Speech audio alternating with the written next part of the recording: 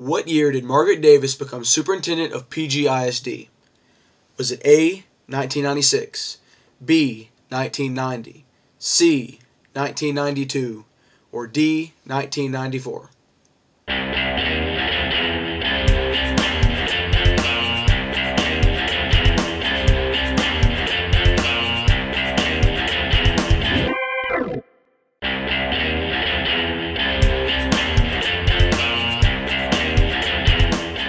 answer is B, 1990.